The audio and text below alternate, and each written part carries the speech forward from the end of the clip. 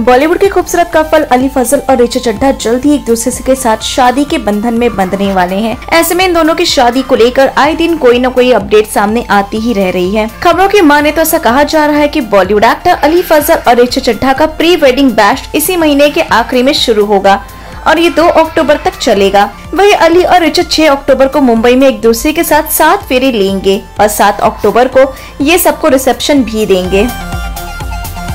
अब इन सबके बीच बॉलीवुड एक्टर अली फजल और रुचि चड्ढा की शादी को लेकर एक नया अपडेट आ गया है सामने। खबरों की माने तो ऐसा कहा जा रहा है कि दोनों जोड़ा दिल्ली के 110 साल पुराने क्लब में अपनी प्री वेडिंग सेलिब्रेशन करने वाले हैं।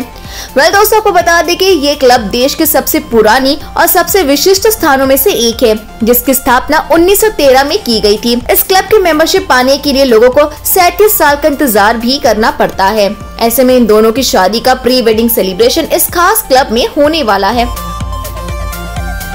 आपको बता दें कि बॉलीवुड एक्ट्रेस सुचि चड्ढा और अली फजल इन दिनों अपनी शादी की तैयारियों में काफ़ी जोरों शोरों में चल रहे हैं बिज़ी ये दोनों अपनी शादी को यादगार बनाने के लिए हर मुमकिन कोशिश कर रहे हैं।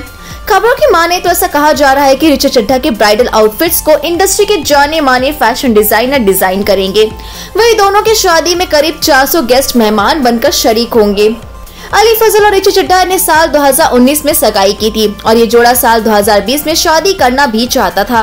मगर कोरोना वायरस के चलते इनकी शादी को पोस्टपोन कर दिया गया। तो दोस्तों, इसको लेकर क्या है आपकी राय? रिचू चड्डा और अली फजल की शादी को लेकर आप कितने एक्साइटेड है? कमेंट सेक्शन में बताना बिल्कुल भी ना भूले और हमारे चैनल को ज़रूर सब्सक्राइब करें।